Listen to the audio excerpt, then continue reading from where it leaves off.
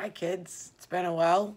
I haven't read a story in a little bit. Um, I just got a new batch of stories from Sawyer and Adelaide, and this is the first one I wanted to read, which is called Even Superheroes Have Bad Days. And this book is by Shelley Becker, and it's illustrated by Eda Kaban. Even superheroes have bad days. And these are some superheroes here. We got Beastie, Zing, Thrash, and Laserman. Those are some new superheroes for me.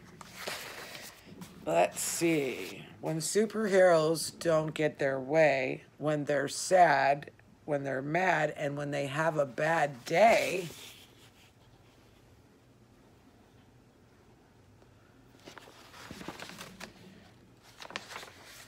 They could use superpowers to kick, punch, and pound. They could shriek. They could screech with an ear-piercing sound.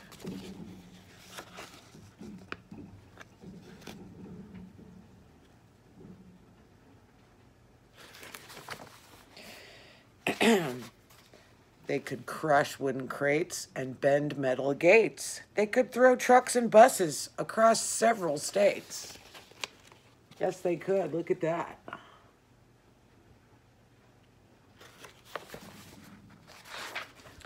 They could knock over buildings like towers of blocks and crumble the streets into rubble and rocks. They could use laser eyes to ignite forest fires or fling boomerangs to deflate the town's tires.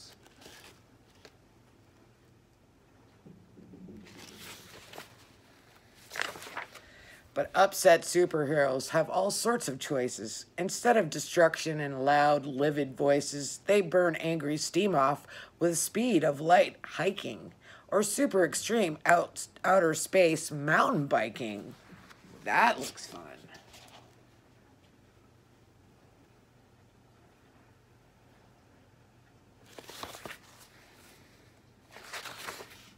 They race to the rescue of people in need and delight in the joy of a super good deed. They hatch super plans to help banish world sadness and building fabulous theme parks for giggles and gladness. This looks like one of those theme parks to me.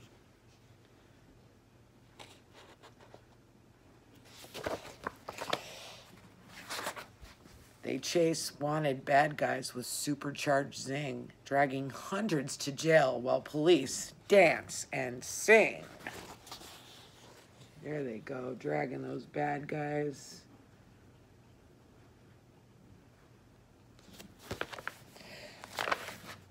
They track down and tame super menacing beasts and transform pity parties into victory feasts.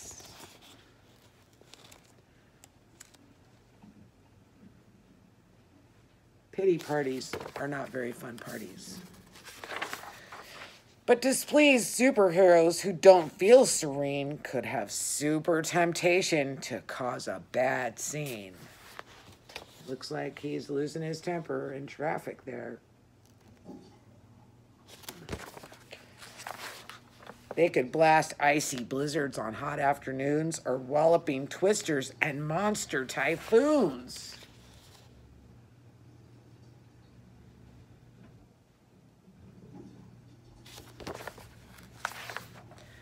They could spin super webs, super far, super sticky, and tangle up towns with their silk, super icky. They could rotate the planet and mess up world time, or sit back and relax while the world fills with crime.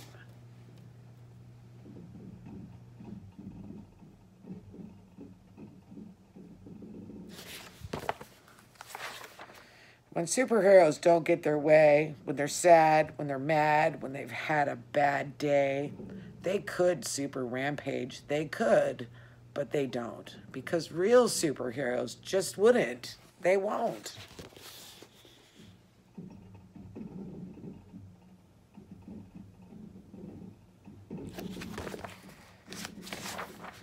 Instead, they dig down to their super best part the strong superpowers contained in their heart and using their talents as true heroes should, they battled the urge to do harm, though they could.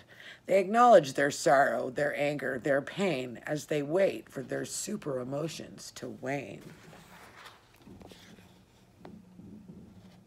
They're meditating.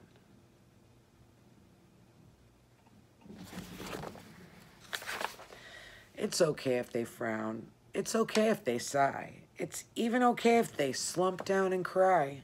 But when they get up and get on with their day,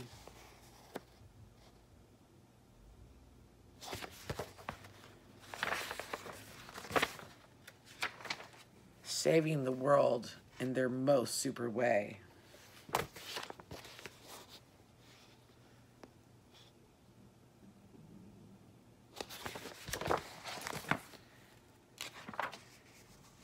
Looks like they're having a campfire, roasting some marshmallows.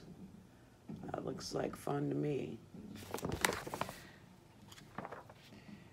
And here's some more superheroes. Magnifique, Screecher, Typhoon, and Icky. There they are.